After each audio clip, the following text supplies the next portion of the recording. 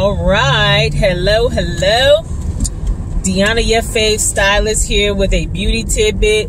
This beauty tidbit today is for the salon owners, okay? The beauty tidbit today is about why it is important to go through with background checks, even if you are a booth rental salon, even if you're a commission salon, even if you're an hourly employee salon, because I'm going to tell you a quick little story that happened to me that um, really turned out very horrible for business, reputation, my reputation, reputation of the other stylists at the salon, um, my reputation afar in a different state and all of this could have been avoided had I done a simple follow through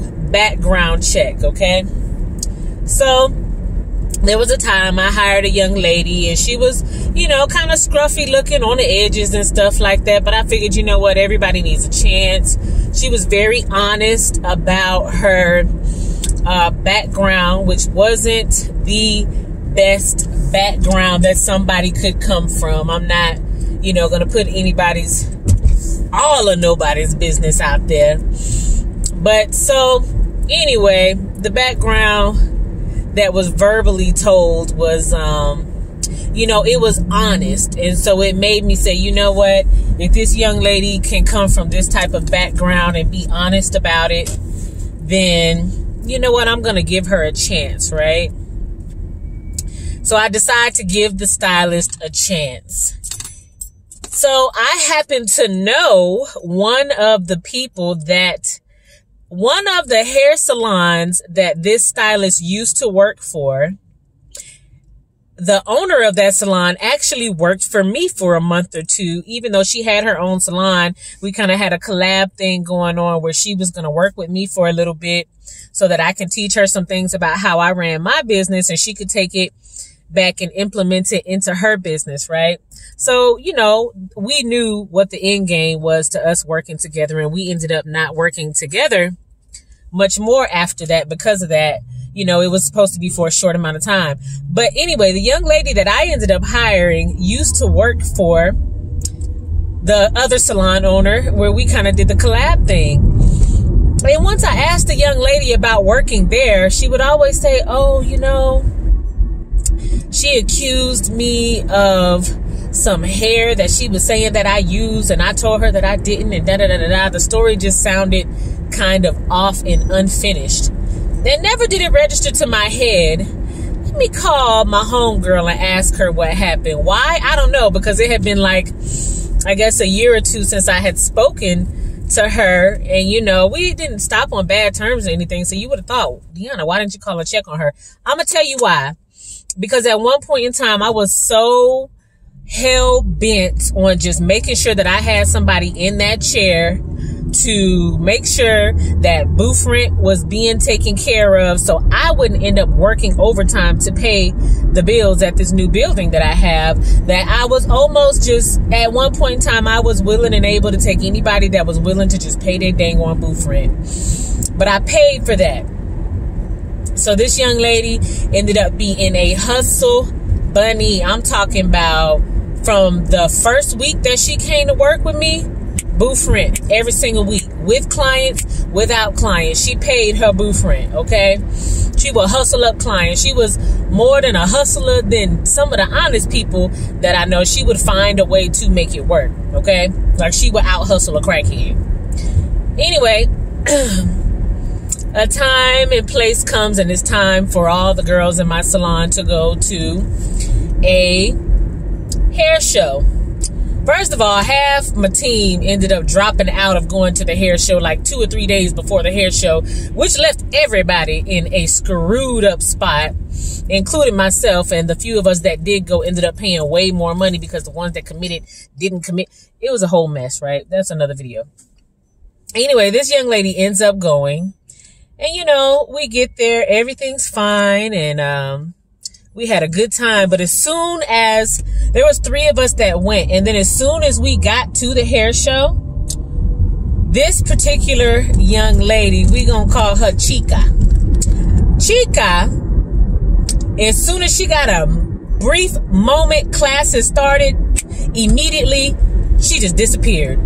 We did not know where this young lady went every single day of the classes after we determined what we was gonna do for the day. It was like she didn't say bye. I'll talk to y'all later. Nothing like that. She was just gone, right? So I'm like, okay, that's kind of weird, but you know, whatever. We all grown, you know, we all got our own hotel key room, whoop de whoop. We ain't gotta know where each other's at all the time, right? We don't, but you know, come to find out, make a long story short, we get all the way back to our salon. This hair show was in um, Los Angeles, California. We get all the way back to Tucson, Arizona. A day or two has gone by. We had a good time at the hair show.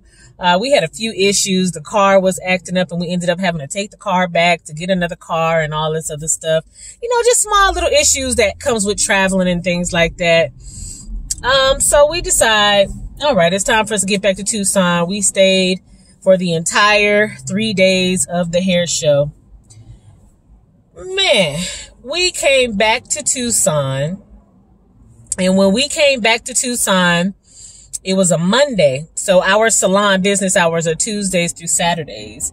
So me and the other young lady that stayed with me there was three of us. This wasn't Chica. We don't call the other lady Susie. You all know that's my favorite name, Susie. So me and Susie didn't go back to work on Tuesday because we were just resting our nerves from traveling and stuff. But thank God we didn't. Because lo and behold, I find out that Chica has sticky fingers, right? So we done took Chica with us to LA at a hair show. I wake up Tuesday.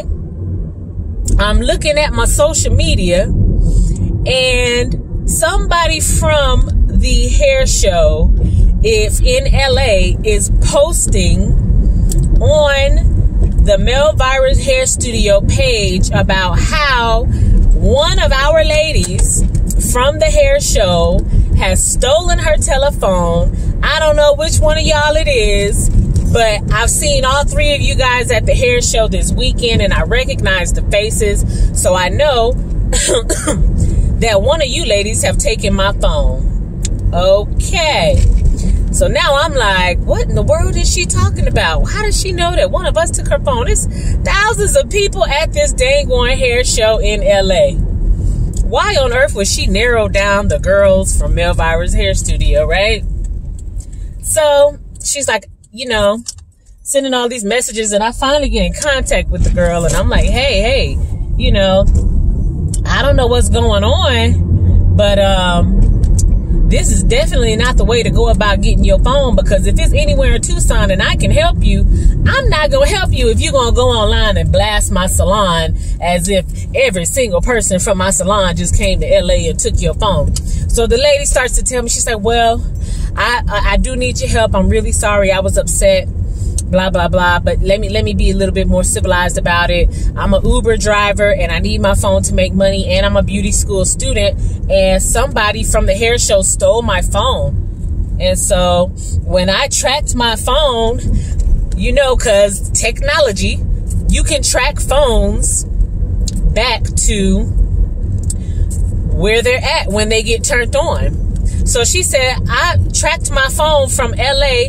to tucson and when my phone was turned on Tuesday morning, because I believe this was Wednesday when I was talking to the girl now, she's like, when my phone was turned on Wednesday morning, um, it was tracked at your salon and it was tracked at these apartments.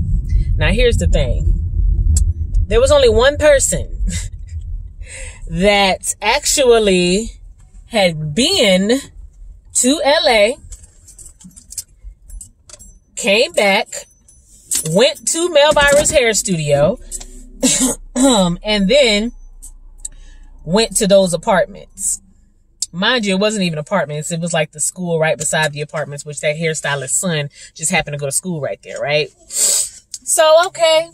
I'm adding it together and I'm like, Lord, Chica done stole somebody's iPhone.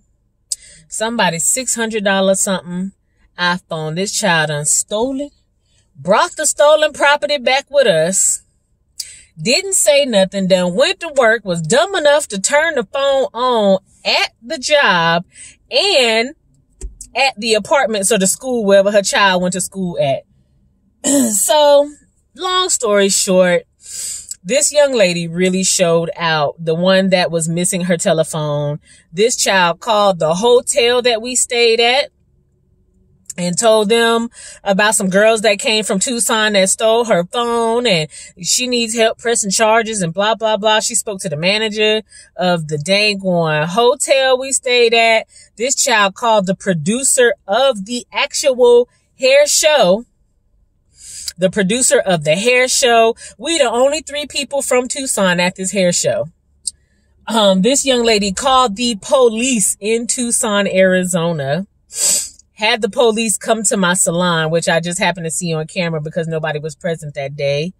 Um, and it was just a very, very big mess. She blasted us on social media, Facebook, Instagram, whatever she could get in contact with to connect to somebody with her phone. She was very relentless and very, very rude. So that experience was one experience that I do not wish on anybody in the beauty industry that owns a business. I think as business owners, sometimes we think with our hearts and we want to give people a chance and things like that. But when stuff like this happens, it really makes you think twice about thinking with your heart when it comes to business. Like, you know, ever since that situation, I have been strictly on some booth rent is due on this date. And if you don't have it, it's a late fee. Um, if you don't got what you need, maybe you don't need to be here, you know. Um, I have been on like, you know, it's crazy. Uh, I could go on into detail about Chica. Um, you know, I had really put my neck on the line for this hairstylist but all of this could have been avoided had I called the hair salon that she used to work for, which I was already homegirls with her, but I was so hell bent on trying to get booth rent and making sure that I had somebody to secure booth rent that I was willing to put up with almost any dang one thing.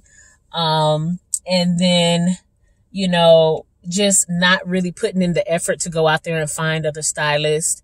Um, you know, doing a background check or maybe even just believing that young lady when she told me about her background. But you would think when somebody tells you about their background, you're like, oh my God, they're being so honest about that. Like, why would they tell anyone about that? You know, so this was a learning experience for you business owners, people that are thinking about becoming a business owner. It don't even have to be a hair salon. Like, really, really figure out your background checking steps and stages and actually go through them. I don't care if it's a friend or a cousin of a hairstylist of yours or whatever. Like there has to be something set in place so that you can protect yourself as a business owner. Because if you don't and you start thinking with your heart, um, as a business owner, because business is business. It's a mind thing. It's a little bit of your heart in it, but for the most part, you're supposed to be using your brain. And if them numbers ain't adding up, then it's just time for you to make some changes, you know, because especially if you're a booth renter salon, like you're hiring people that know how to run their own individual business. They know how to gain themselves clientele and take care of their booth rent and, um, they are responsible and they don't have sticky fingers and stuff like that. So be careful, do background checks, and sometimes it takes a little bit of discernment. It takes a lot to sort through people and figure out what you can offer them and how you guys can work together. But there's a million people on the planet Earth. You did not have to settle for one just because that's the one in your face. So to all you up and coming business owners or just people that have to work with people. Be gentle on yourself. Use your brain and not your heart whenever it is about business. Do your background checks.